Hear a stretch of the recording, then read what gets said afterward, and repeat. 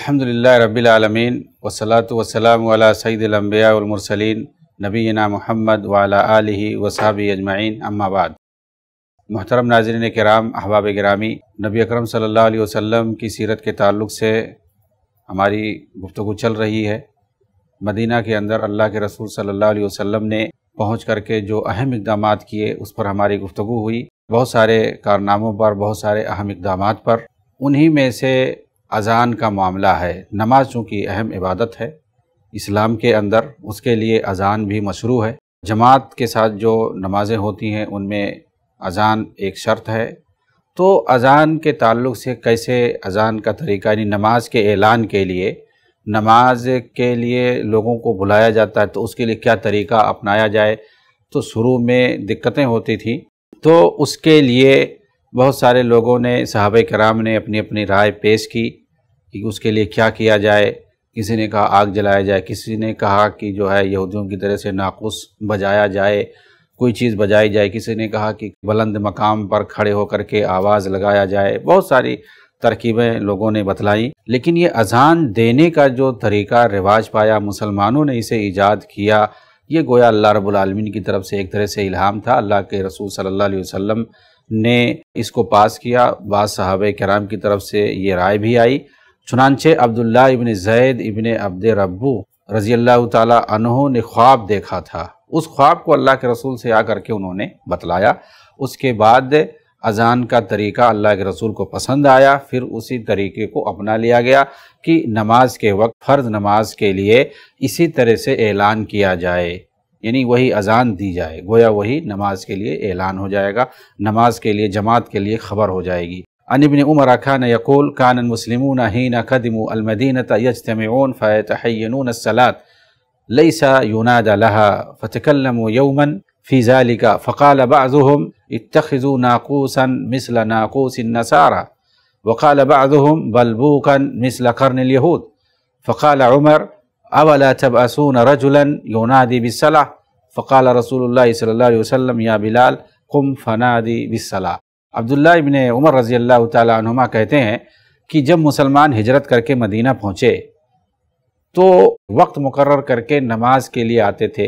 लोग तय कर लेते थे। गोया एक जमात की नमाज़ पढ़ ली, फिर उसके बाद लोग तय कर लेते थे कि अगली नमाज़ के लिए फ़लाँ वक्त आना है। यतहैनून सलात का मतलब यही है, किसी को बताने की ज़रूरत नहीं है, ऐलान करने की ज़रूरत नहीं है। इस तरह से लोग नमाज़ पढ़ते थे उसके लिए अजान नहीं दी जाती थी। कहते हैं लई सा अजान नहीं दी जाती थी पहले शुरू में। एक दिन क्या हुआ, इस बारे में मशवरा किया गया। लोगों ने मशवरा किया आपस में, अल्लाह के रसूल सल्लल्लाहु अलैहि वसल्लम ने साहब कराम को बुलाकर मशवरा लिया। किसी ने कहा, ईसाइयों की तरह से घंटा बजाया जाए। किसी ने कहा, यहूदियों की तरह से नरसिंहा, जिसे कहते हैं, बिगुल बजाया जाए, सूर फूका जाए। लेकिन हज़रत उमर ने फरमाया कि किसी शख्स को क्यों ना भेज दिया जाए जो नमाज़ के लिए पुकार दिया करे। नमाज़ का वक्त हो गया है, चलो नमाज़ पढ़ने के लिए। नमाज़ के बुलाने के लिए जा कर के ऐलान करे आदमी। बहरहाल उस वक्त अल्लाह के रसूल ने हज़रत बिलाल से कहा कि जाओ, नमाज़ के लिए ऐलान कर दो। इसी तरीके से एक और रिवायत आती है अब्दुल्ला इबन जैद रज़ी अल्लाह तहों की। कहते हैं कि फ़लम्मा असबहना अतना रसूल अल्लाह सल्लल्लाहु अलैहि वसल्लम फ़अख़बरतहु बिर्रुया फ़काला इन हादही लरूया हक़्क़ुन फ़कुम बिलाल फ़िन्नहु अंदा व अमद सऊतम मिनका फ़अल्क़ी अलैहि मा क़ील लका वलियुनादी बिज़ालिका क़ाल फ़लम्मा समिया उमर बिन ख़त्ताब रज़ी अल्लाह तआला अन्हु निदा बिलाल बिसलाती खरजा इला रसूलिल्लाहि सल्लल्लाहु अलैहि वसल्लम वहुआ यजुर्रु इज़ारहु वहुआ यक़ूल या रसूल अल्लाह वल्लज़ी बासक बिलहक़्क़ि लक़द रअयतु मिस्लल्लज़ी क़ाल फ़काल सल्लल्लाहु अलैहि वसल्लम फ़लिल्लाहिल फ़लिदा फ़ज़ाली का असबत चुनानचे अब्दुल्ला इबन जैद रज़ी अल्लाह तु कहते हैं कि जब हमने मदीना के अंदर एक सुबह किया तो अल्लाह के रसूल सल्लल्लाहु अलैहि के पास मैं आया और मैंने रात के अंदर जो ख्वाब देखा था, उसको अल्लाह के रसूल सल्लल्लाहु अलैहि से बयान किया। ये ख्वाब यही था कि एक आदमी ने बाकायदा अजान के सारे कलिमात उनके सामने दोहराए। अल्लाह अकबर अल्लाह अकबर। पूरा जो है अजान के जो कलिमात थे उनके सामने उन्होंने दोहराया तो उनको वो पूरे जुमले याद हो गए। उन्होंने आ कर के अब्दुल्ला बिन जैद ने आ कर के अल्लाह के रसूल से अपना ख्वाब बयान किया और वो पूरा जुमला, पूरे कलिमात जो अजान के हैं, वो आपके सामने आपने बयान किया, दोहराया। तो आपने फरमाया कि ये एक सच्चा ख्वाब है और हज़रत बिलाल को आपने हुक्म दिया कि जा कर के इनके साथ आवाज़ दो, इसी तरीके से अजान पुकारो। क्योंकि ये जो है तुमसे ज़्यादा आवाज़ वाले हैं, उनकी आवाज़, उनकी सौत जो है, उनकी आवाज़ ज़्यादा बुलंद है। अब्दुल्ला बिन जैद को कहा कि, बिलाल को ले जाओ, ये आवाज़ में तुमसे ज़्यादा ऊँची और लंबी वाले आवाज़ हैं, ज़्यादा तेज़ वाले हैं। चुनानचे उन्हें बुलाया गया और उन्होंने अपने कलिमात को उनके सामने पेश किया। चुनानचे उनको, उन्होंने याद किया, हज़रत बिलाल ने वो कलिमात याद कर लिए और फिर उन्हीं कलिमात को उन्होंने अदा किया, ज़ोर से उन्होंने पुकारा। इसी तरीके से ये अज़ान की रिवाज शुरू हो गई। जब उन्होंने हज़रत बिलाल ने ये आवाज़ दी लोगों को अज़ान के कलिमात दोहराए तो हज़रत उमर ने भी वो आवाज़ को सुना तो दौड़ते हुए आए। हदीस में आता है कि वो अपने इज़ार को खींचते हुए आए, घसीटते हुए आए, अल्लाह के रसूल की खिदमत में हाजिर हुए और अर्ज़ किया कि अल्लाह के रसूल कसम उज़ात की जिसके हाथ में मेरी जान है, मैंने भी इसी तरीके से ख्वाब को देखा, इसी तरीके से कलिमात को आ, सुना है मैंने ख्वाब के अंदर तो अल्लाह के रसूल सल्लल्लाहु अलैहि वसल्लम ने फरमाया फ़लिल्लाम फ़ज़ा अली का असबत कि अल्लाह का शुक्र है ये बात और मज़ीद पुख्ता हो गई। ये उस वक्त की बात है जब रसूलुल्लाह सल्लल्लाहु अलैहि वसल्लम और सहाब कराम के दरमियान एक रात नमाज़ के लिए लोगों को बुलाने की तदाबीर पर गुफ्तु हो रही थी और लोगों ने मुख्तलिफ़ मशवरे दिए थे उसी रात अब्दुल्ला इबन जैद ने ख्वाब देखा था और अल्लाह के रसूल से आ कर के अपने ख्वाब को बयान किया था और तइद में हज़रत उमर फ़ारूक रज़ी अल्लाह तु ने भी उसी तरीके से आकर के ख्वाब को बयान किया था। बहरहाल उसी ख्वाब की बुनियाद पर अल्लाह के रसूल ने उसको सच्चा ख्वाब समझा और फिर उन्हीं कलिमात को दोहराने का हुक्म दिया। चुनानचे जो दूसरे मशवरे दिए गए थे, सारे मशवरों को अल्लाह के रसूल ने मनसूख कर दिया। चाहे वो नमाज़ के लिए घर घर जा कर के बुलाने की आवाज़ हो, आवाज़ देने की बात हो, या इसी तरह से घंटा बजाने की बात हो, या सुर में फूकने की बात हो, उन सारी चीज़ों को आपने मनसूख कर दिया, ख़त्म कर दिया। और ये जो अज़ान के कलिमात जो हैं, इनको दोहराने की बात कही कि हर नमाज़ से पहले फ़र्द नमाज़ से पहले इसी तरीके से कलिमात को दोहराया जाए, ज़ोर आवाज़ में, बुलंद आवाज़ में दोहराया जाए। ताकि लोग सुन करके नमाज़ पढ़ने के लिए आए, जिसे बाद में अज़ान का नाम दिया गया। तो ये एक बड़ा हादसा था, एक बड़ा वाक़ आप कह सकते हैं, अहम वाक़ कह सकते हैं, जो शुरू में पेश आया। ये तकरीबन दो हिजरी में दूसरे साल की इब्तदा में ये वाक़ पेश आया है। उसके तहवील किबला के बाद अजान का ये वाक़ पेश आया है। दूसरे साल, आप जानते हैं कि जो गजब बद्र अलकुबरा है, ये पेश आया था। कुफार मक्का और मदीना के मुसलमानों के दरमियान, उस साल यानी दूसरा साल जब आया तो कुरैश ने, मक्का वालों ने धमकी देना शुरू कर दिया अहल मदीना को वहाँ के यहूदियों को, वहाँ के मुशरकिन को और उसके साथ ही वहाँ के मुसलमानों को भी वो लोग अलग अलग धमकियाँ दे रहे थे। क्योंकि मुसलमान भाग करके यहाँ पे आए हुए थे, हिजरत करके आए हुए थे तो वो लोग बड़े कसमकस में थे, परेशानी में थे कि वहाँ गए हैं मुसलमान, उन्होंने अपनी जमीयत बना ली है, बल्कि मदीना इतना बड़ा शहर है पूरा, उस पर कब्ज़ा अपना जमा लिया है, सारे लोगों को मिला लिया है, यहूदियों को मिला लिया है, वहाँ के मुशरकों को मिला लिया है, जो दूसरे हमारे कुफार साथी थे सबको मिला लिया है, क्योंकि अल्लाह के रसूल ने एक माहा करके सबको मिला लिया था कि बाहर से अगर कोई दुश्मन हमला करता है तो सबको मिल करके मदीना का दिफा करना होगा और इस शहर को बचाना होगा, दुश्मनों के किसी भी तकलीफ़ से, किसी भी चाल से, साजिश से मदीना को बचाना पड़ेगा, सबको मिल करके रहना पड़ेगा। अल्लाह के रसूल ने इस तरह से एक महाज, एक इतिहाद कायम कर लिया था, जिसकी वजह से मक्का वाले बहुत ही परेशान रहते थे। उन्होंने हर एक को बारी बारी धमकी दी थी। चुनानचे मुसलमानों के मदीना आने के बाद मुशरकी ने मक्का को काफ़ी तस्वीर हुई। इसके लिए उन्होंने साजिश करना शुरू कर दिया। साद इबन माज रज़ी अल्लाह तु जो कि अंसारी साहबी हैं, ये मक्का गए हुए थे उम्र करने के लिए। उमैया बिन खलफ की पनाह में उन्होंने खाने काबा का तवाफ़ किया। वहाँ पर अबू जहल से मुलाकात हो गई। उसने धमकी दी बाकायदा और आपने भी धमकी दी। तफसील बताई जाती है कि कुफ़ार कुरैश ने फ़ैसला कर लिया था कि वो हर सूरत लोगों को अल्लाह ताला के रास्ते से रोकेंगे। इस सिलसिले में वो मुकम्मल मनसूबाबंदी कर चुके थे। इसके तहत उन्होंने अंसार को मस्जिद हराम आने से रोक दिया। चुनानचे हज़रत साद इबन माज रज़ी अल्लाह तु अबू जहल के वाक़े से ये साफ़ मालूम होता है, जिसे सही बुखारी के अंदर बाकायदा नकल किया गया वाक़ मजकूर है साद इबन माज का, कि जो मक्का के अंदर गए हुए थे, उम्र की गरज से गए हुए थे, और अपने मेज़बान से उन्होंने कहा, मेरे लिए कोई अच्छा वक्त बताओ, ताकि मैं उस वक्त सुकून से तवाफ़ कर सकूँ। आयन दोपहर के वक्त जब लोग उमूमन घरों में रहते हैं, बंद रहते हैं, उनके मेज़बान ने उमैया बिन खलफ ने उन्हें साथ लिया साद बिन माज को और ले करके वहाँ पर गए खाने काबा के पास तवाफ़ करने के लिए। उस वक्त वहाँ पर अबू जहल से मुलाकात हो गई। उसने देख लिया आपको। उमैया बिन खलब से पूछा कि ये तुम्हारे साथ कौन है? उसने बता दिया कि साद बिन माज है। अबू जहल भड़क गया और कहने लगा, तुम अमन अमान से काबा का तवाफ़ कर रहे हो? हालाँकि तुमने मोहम्मद और उसके साथियों को पनाह दे रखी है। बाद अज़ा इन दोनों में तू तू में होने लगी। हस्तिसाद ने धमकी के अंदाज में भी कहा, अल्लाह की कसम, अगर तूने मुझे बैतुल्ला की तवाफ़ करने से रोका तो मैं मुल्क शाम जाने वाला तेरा तजारती रास्ता बंद कर दूँगा। क्योंकि उधर से वो मदीने का रास्ता पड़ता था, उन्होंने कहा, सख्ती से कहा, तुम्हारा जो है काफ़िला मैं बंद कर दूँगा, रोक दूँगा, तुम्हारा रास्ता मैं बंद कर दूँगा नाथका बंद कर दूँगा। उन्होंने उस झगड़े के दौरान उमैया को भी मुतनबे किया कि रसूलुल्लाह सल्लल्लाहु अलैहि वसल्लम ने तुझे कत्ल करने की खबर दे रखी है फिलवाक़ ऐसा ही हुआ, उमैया को बद्र के मैदान में कत्ल कर दिया गया। तो इस तरह से मक्का वाले, मदीना वालों को धमकियाँ दे रहे थे, लेकिन मदीना वाले भी किसी तरीके से कम नहीं थे, उन्होंने भी पूरा उनकी धमकियों का जवाब दिया। मुशरकिन मक्का ने मदीना के मुशरकिन को बाकायदा ख़त लिखा। यानी वहाँ के मुसलमानों को उन्होंने धमकियाँ दी। इसी तरीके से वहाँ जो मुशरकिन पाए जाते थे मदीना के अंदर, उनके पास खुफिया ख़त लिखा कि तुम लोग मुसलमानों से लड़कर या तो खुद भगा दो वहाँ से, मदीना से निकाल दो, वरना हम मदीना पर हमला करके सबकी खबर लेंगे। मुशरकों को धमकी दे रहे हैं, मदीना के काफिरों को धमकी दे रहे हैं। कि तुम लोगों ने मोहम्मद को पनाह दिया हुआ है, उनके साथियों को पनाह दिया हुआ है, इसलिए तुम पर यह फरीज़ा बनता है कि तुम लोग वहाँ से उन्हें निकाल दो, नहीं तो हम हमला करेंगे तो सबकी खबर लेंगे एक साथ। अब्दुल्ला इबन ओबई कुफ़ार की धमकियों में आ गया क्योंकि ये मुशरकों में से था, बज़ाहिर मुसलमान हो गया था, लेकिन ये मुशरकों में से था, उनका सरदार था बाकायदा, मुनाफिकीन का सरदार था।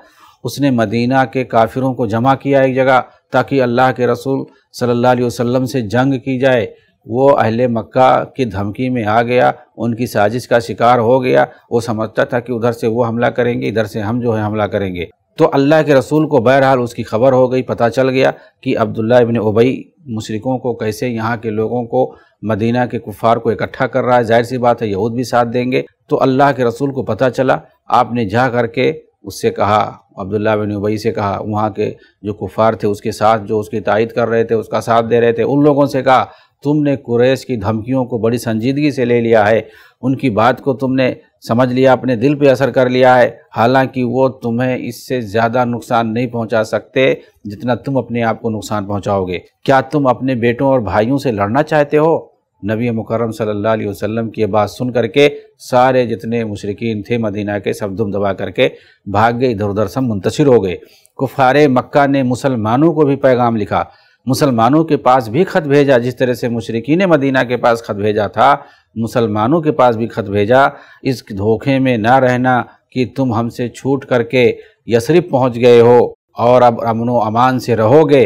बस हम आने ही वाले हैं, हम तुम्हारे घरों ही में तुम्हारा भरकस निकाल देंगे और तुम्हारी हालत जो है हम पतली कर देंगे। इस तरह की धमकी उन्होंने मदीना के मुसलमानों को दी थी और इसी तरीके से मुशरकिन मदीना को भी दी थी। कुरैश के साजिशों से तहफ़ के लिए मुसलमानों ने रसूलुल्लाह सल्लल्लाहु अलैहि वसल्लम की रिहाइश गाह पर रात के वक्त पहरा देना शुरू कर दिया। जब इस तरह से वहाँ से धमकियाँ आना शुरू हुई कि हम लोग तुम्हारी खबर लेंगे और तुम्हारे ऊपर हमला करेंगे, तुम लोग सुकून से नहीं रह सकते हो, अमन अमान से नहीं रह सकते हो साहब कराम ने नबी वसल्लम के घर का पहरा देना शुरू कर दिया था।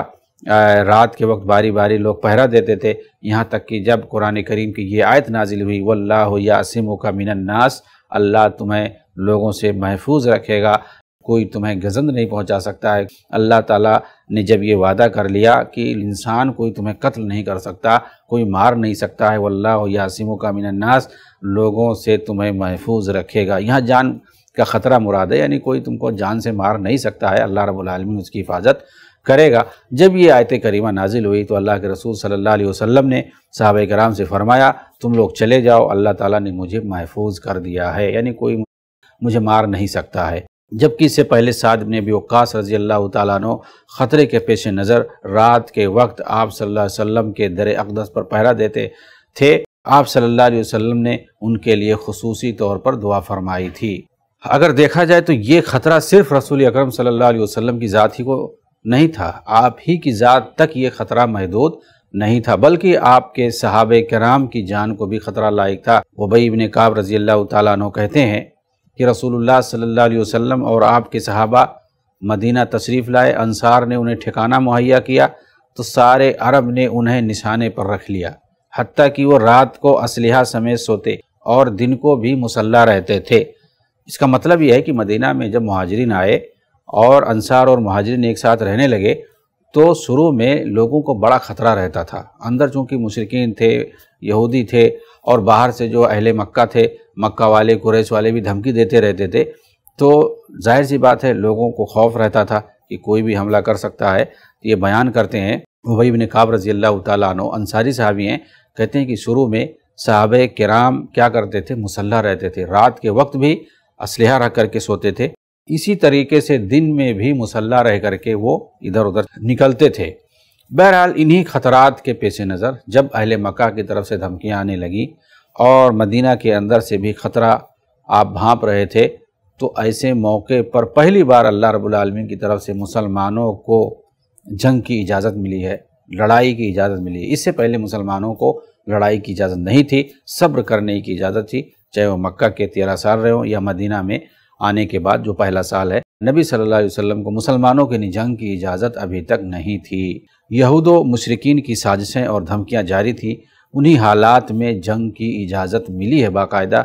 उदन लजीन युकातलून बेन्नज़ुलम व इन नसरम लक़दीर। सुर हज के अंदर यह आयत नाजिल हुई कि उन लोगों को जिनसे लड़ाई की जाती है इजाज़त दी गई। नहीं, जिनसे जो है बार बार जिनको धमकी दी जा रही है, जिनको मारने की धमकी दी जा रही है, जिनसे लड़ाई करने की धमकी दी जा रही है, उन लोगों को इजाज़त दे दी गई है, यानी मुसलमानों को। क्यों? इसलिए कि उन पर जुल्म किया गया है और बेशक अल्लाह ताला उनकी मदद करने पर पूरी तरह कादिर है। अल्लाह ताला मुसलमानों की मोमिनों की मदद करेगा। उनको जो लोग जंग की धमकी दे रहे हैं, जो लोग लड़ाई की धमकी दे रहे हैं, वो सुन लें कि अब इनको हमने इजाज़त दे दी है, हम इनकी मदद करेंगे। ये अल्लाह रब्बुल आलमीन की तरफ़ से गोया पहली बार इजाज़तनामा मिला कि अब मुसलमान उनसे बाकायदा लड़ सकते हैं, उनका जवाब दे सकते हैं। अगर कोई धमकी देगा, कोई लड़ने के लिए आएगा तो मुसलमान भी उसका पूरा जवाब देंगे। चुनानचे हकीकत यही है कि मुसलमानों को हिजरत के बाद मदीने में आने के बाद ये इजाज़त मिली थी। मक्के में इस तरह की कोई आयत नाजिल नहीं हुई है, जिससे ये पता चले कि मुसलमानों को लड़ने की इजाज़त है। जंग की इजाज़त नाजिल हुई, लेकिन जिन हालात में नाजिल हुई, वो चूँकि महज कुरैश की क़वत और तमरुद का नतीजा थे, इसलिए हमत का तकाजा ये था कि मुसलमान अपने तसलुत का दायरा कुरैश कि उस तजारती शाहरा तक फैला दें, जो मक्के से शाम तक आती जाती है। इसीलिए रसूलुल्लाह सल्लल्लाहु अलैहि वसल्लम ने तसल्लुत के उस फैलाव के लिए दो मंसूबे अख्तियार किए। एक, वो कबाइल जो उस शाहरा के इर्द गिर्द रहते थे, मदीने के दरमियानी इलाके में आबाद थे, उनके साथ दोस्ती और ताउन का माहदा किया।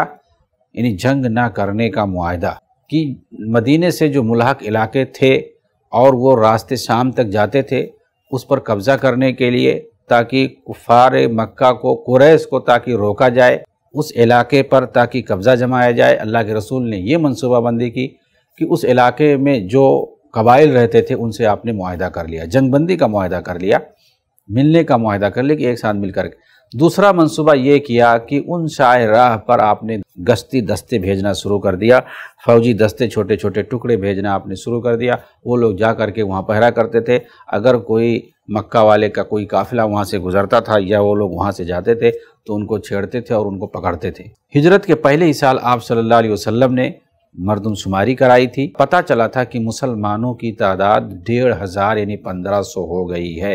ये दरासात फ़ी अहदिम नबुआ लिसुजा सफ़ा नंबर एक में ये चीज़ मनकूल है कि अल्लाह के रसूल ने पहले साल ही मदीना के अंदर ये सर्वे कराया था, मरदमशुमारी कराई थी, जिससे पता चला कि मुसलमानों की तादाद अब डेढ़ हज़ार पहुँच चुकी है। देखिए, एक साल में, मक्का के अंदर तेरह साल में सौ लोग नहीं हो पाए थे। सैकड़ा पार नहीं हुआ था, लेकिन मदीना में जिस तरह से दावत का काम हुआ, माहौल जिस तरह से साजगार वहाँ पर मिला तो ज़मीनी फ़ज़ा जिस तरह से हमवार वहाँ पर मिली और दावत का काम हुआ और लोगों ने दावत को कबूल किया, जिससे फ़ायदा ये हुआ कि एक ही साल के अंदर हज़ार या डेढ़ हज़ार मुसलमानों की तादाद हो गई।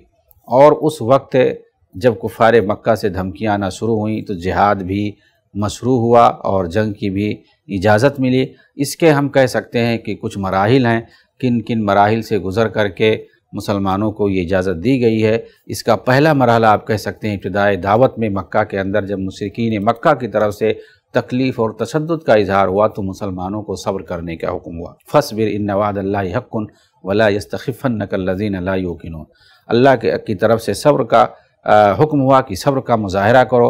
वमा खलक नमावत वलअर्दमा बैनहुमा इल्ला बिलहक व इन सातियतन फ़स फ़हिसफ़ल जमील। यहाँ भी इस आयत के अंदर भी सब्र करने का, दरगुज़र करने का, माफ़ करने का हुक्म दिया गया है।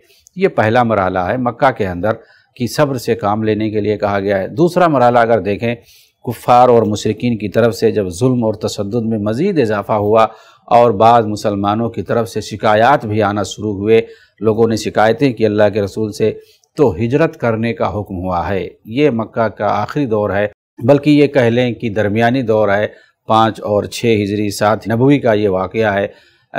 हफ्सा की तरफ़ आपने हिजरत करने का लोगों का हुक्म दिया।